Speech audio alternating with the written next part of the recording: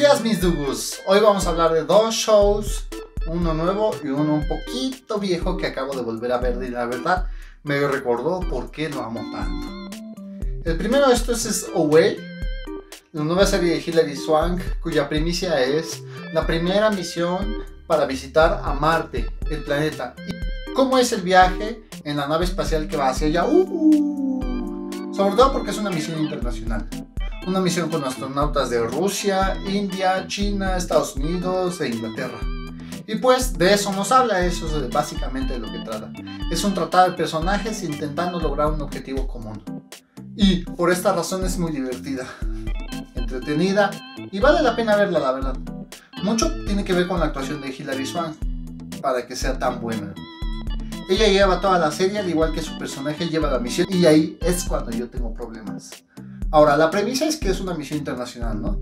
Pero en realidad es una forma en que los gringos intentan mantenerse lo que en sus mentes y en sus medios de entretenimiento han sido durante todos los años los líderes mundiales.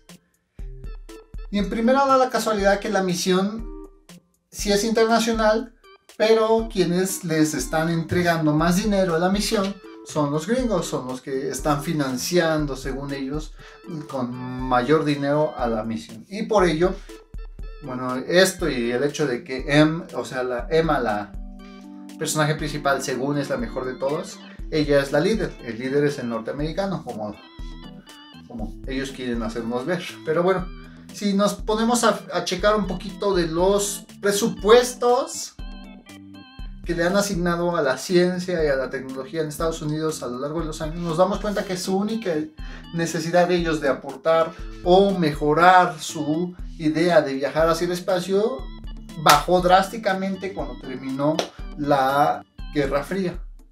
Esto quiere decir que solamente lo utilizan, como dicen por ahí, para politiquería. Utilizan la investigación espacial, la ciencia es para lo que se utiliza en la mayoría de los países, para la política, para poder, poder impulsar plataformas políticas en vez de una idea de el mejoramiento constante científico como, como humanidad, ¿no?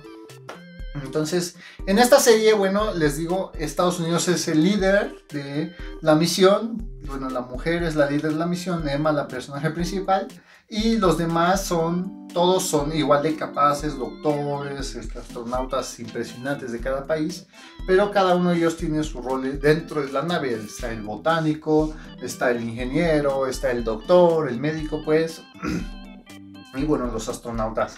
Entonces, lo que no me gusta de la serie es esta idea de los gringos de que ellos son los líderes mundiales, porque bueno, hace mucho no lo han sido, ¿no?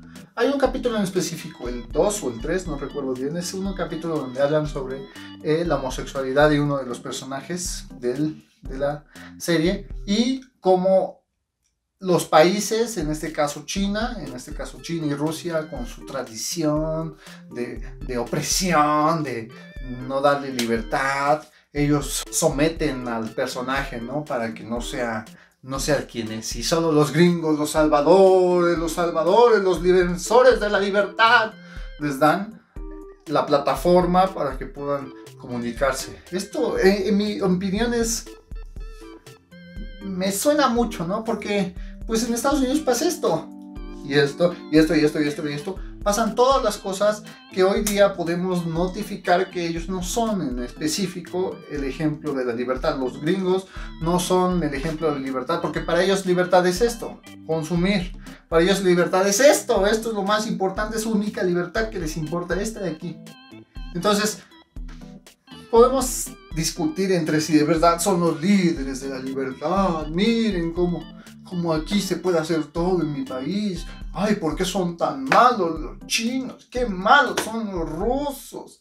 Hay otra cosa, los otros países, en este caso India y el Reino Unido, están siempre ah, escuchando lo que dicen los gringos. Vamos a hacer lo que ellos dicen, porque nosotros no somos y vamos a seguir su ejemplo. Ay, ¿cómo me molesta esto, no? Se ve que está escrita por norteamericanos que no fueron consultados, personas de otros países, para representar a personas de estos otros países e intentan eh, emular los valores que según defienden los gringos, como que los van obteniendo y adquiriendo las personas de estos otros países.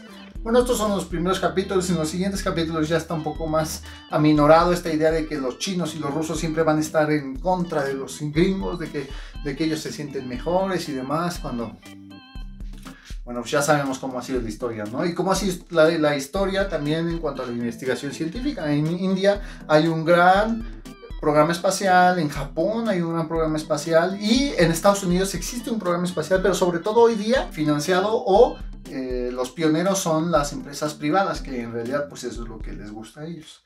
Hay empresas privadas que están haciendo sus experimentos para ir al espacio.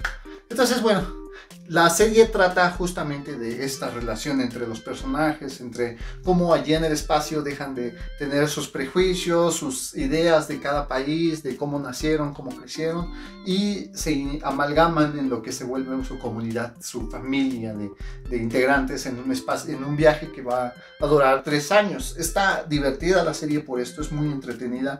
Vemos las historias de cada uno antes de irse al espacio, las historias de cada uno conforme a las personas que dejan eh, en la Tierra cuando ellos se van al espacio, sus relaciones con ellos, claro está, tienen que ser los chinos, rusos y los chinos los más duros, los que no tienen familia, y los gringos sí, son los amorosos, ay, cuánta familia tenemos, Bueno, discúlpenme por este sarcasmo, pero es que tengo unos amigos que no les gusta que mis reviews de anime sean demasiado quisquillosas, pero aquí les muestro que para todo en este canal tenemos, traemos para todo, compas, para todo, excepto para la siguiente serie.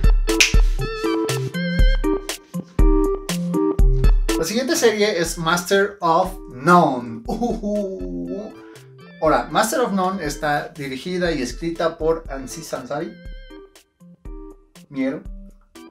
Y él es un comediante que escribió esta serie. Master of None es el la contracción de un dicho en inglés que es eh, Jack of all trades, master of none. Es aquel como el chambitas, aquí le decimos el que le entra todo, pero no sabe algo en específico, ¿no? Entonces, la idea principal de esta serie es, bueno, es una historia de un personaje hindú en Estados Unidos, una persona que es de, segunda generación eh, eh, norteamericana, o sea, familiares llegaron, sus papás llegaron, eh, pues tuvieron a un hijo en Estados Unidos y él creció y toda su cultura, su vida la ha vivido en Estados Unidos. No sabe hablar hindi, no, no sigue las costumbres. Entonces, de eso trata justamente la, serie, de cómo ha sido su, su, crecimiento, cómo ha sido su desarrollo en esta cultura eh, eh, mezclada, ¿no? En esta mezcla de culturas, pero sobre todo su máximo mensaje, en mi opinión, es esta idea, y lo defiende en su libro, este, que ya también lo, lo es, es, muy similar, si no es que es mm, lo que plantea en su libro, lo plantea en la serie, es esta idea de hoy día en la tecnología, con tantas opciones, puedes tener un panorama enorme en cuanto a posibilidades de relación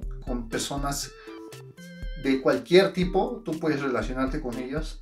Y entonces está esta idea continua, ¿no? Que se presenta en muchas series de este tipo.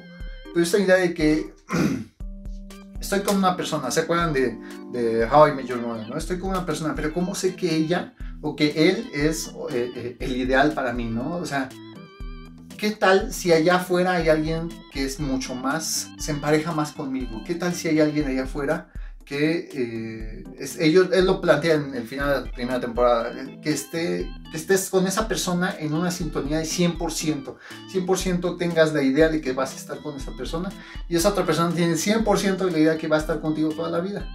Y él lo plantea por esto, porque sus papás, bueno, en la serie y en la vida real, en, en, su libro lo explica, que sus papás se conocieron como sin hindús, se conocieron a partir de que las, eh, los juntaron, pues, como arreglaron su matrimonio.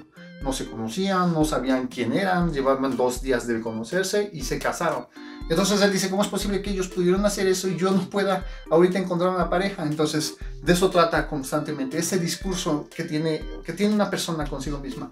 Y te lo plantea como, como una idea de que tú quieres seguir buscando y buscando y buscando y buscando a una pareja ideal para ti y te das cuenta que, que el tiempo se te acaba y lo, lo, hace como, lo hace como una como metáfora en la que un árbol de tantas opciones, tantas ramas que hay, no eliges la rama por la que quieres ir y al final se marchita y se muere el árbol. Es, es, es, la como metáfora que quiere decirte, que el tiempo se te va pues en lo que tú estás intentando elegir o buscar opciones y alternativas. Dice este, están las, en su segunda temporada hay un capítulo específico de citas online, de citas que tú encuentras en Tinder, que tú encuentras en OkCupid, todas esas aplicaciones, y cómo tú vas conociendo personas y vas y, se va regenerando una y otra y otra y otra vez. La, la idea de que, pues, me estoy conociendo a alguien que me cae muy bien, que me encanta cómo es, pero a la vez encuentro a otra persona que es igual de fascinante y que la verdad me encanta cómo es, y entonces hay un mundo de posibilidades y jamás él en la serie, él se plantea que jamás él encuentra un punto medio, nunca encuentra a alguien que de verdad lo haga sentir como estoy al 100% con esta persona. Y dice él, ¿qué tan difícil es el día de hoy en las posibilidades infinitas de relación poder encontrar ese tipo de relación que podrían encontrar en esos tiempos personas con otros eh, bagajes, ¿no? No nada más los hindús cuyos eh, matrimonios son arreglados, sino personas que, bueno, tuvieron eh, por ejemplo, gente que se casó a los 18 años, 17 años, a los 15 años, cuando eran eh, jóvenes, eh, y dices, ¿cómo es posible que sigan juntos, no? ¿Cómo es posible que sigan bien juntos a pesar de, pues, no haberse conocido en absoluto y no, y no haberse dado la oportunidad de conocer todas las opciones que tenía a su disponibilidad. Esto se llama Master of None. Ambas series, Away y Master of None, están disponibles en Netflix, las pueden checar. Me comentan de qué trata, qué les pareció, cómo, cómo, cómo fue. les pido por favor que compartan estos videos. Muchas gracias por verlos. Si les gustan o no, sale bye. Me dicen, me comentan, sale bye.